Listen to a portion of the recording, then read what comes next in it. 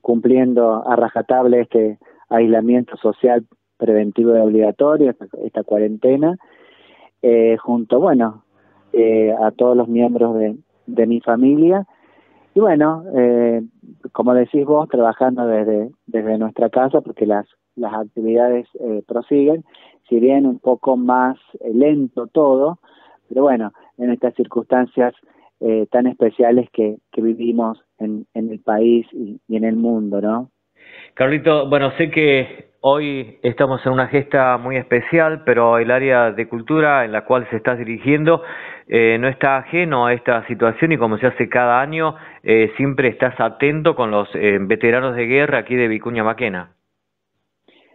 Sí, exactamente. Nosotros, mira, al, el, al momento de, cuando el presidente, el señor presidente de la Nación decreta este aislamiento, nosotros ya teníamos la diagramación de las tarjetas, eh, las invitaciones para realizar, bueno, el acto que se iba a hacer hoy eh, a las 11 de la mañana en, el monumento eh, de Malvinas, ¿no?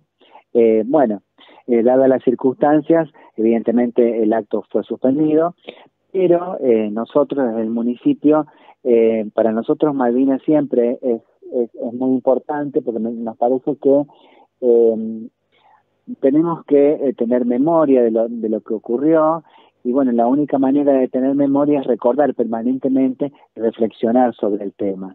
Y también eh, hoy es, es, un día especial porque es el Día del Veterano de Guerra y de Caídos en Malvinas y nosotros en nuestra ciudad tenemos veteranos de guerra que por, que por suerte han podido volver. Eh, y entonces, al no poder hacer acto, hicimos otras acciones desde el municipio como para que la fecha eh, no pasara desapercibida, ni que eh, pasara por alto, ni que ninguno pensara que desde el municipio no se hizo nada. Por lo tanto, se hizo un video, ¿sí? un videito en homenaje a nuestros veteranos de guerra, eh, que está ya está circulando por las redes y está colgada en la página de Facebook de la municipalidad. También eh, enarbolamos una nueva bandera en el monumento, eh, hicimos un flyer que también está circulando por todas las redes sociales y hicimos entrega, fuimos a la casa de cada uno de los veteranos de guerra o sus familiares, porque algunos no viven acá, eh, Juan Luis Olivier ya está desaparecido, entonces, a los que no viven acá y a las familiares de a los familiares de Juan de Oliver les entregamos una tarjeta, como también a los que viven acá, a Pablo Mana, a Ángel Ferreira, a Mauricio, eh, perdón, a Daniel Delgado. Así que bueno, es una forma de, recordarlos y tenerlos presentes siempre, porque para nosotros es muy importante.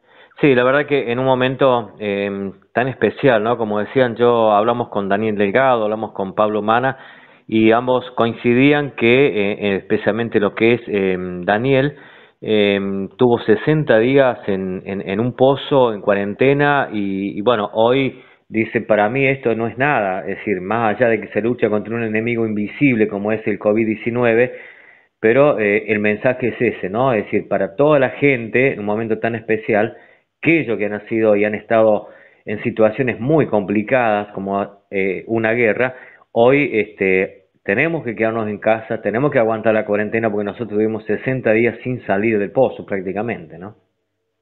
Exactamente, por eso a mí me parece muy importante que eh, esto que estamos haciendo de quedarnos en casa y luchar con el enemigo invisible no nos permita tampoco olvidarnos también de, de, sucesos importantes que hacen a la historia argentina.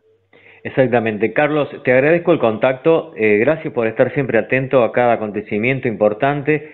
En este caso, Malvinas, una fecha eh, tan, eh, tan, digamos, recordada en todo el país desde hace algunos años.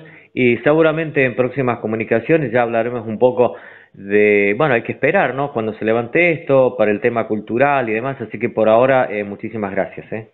No, muchísimas gracias a ustedes por el contacto. Y bueno, y mi mensaje es un, afectuoso saludo a, a, los veteranos de guerra en particular y a la población en general, que nos cuidemos entre todos, que es la mejor forma de vencer eh, lo que nos está ocurriendo en este momento.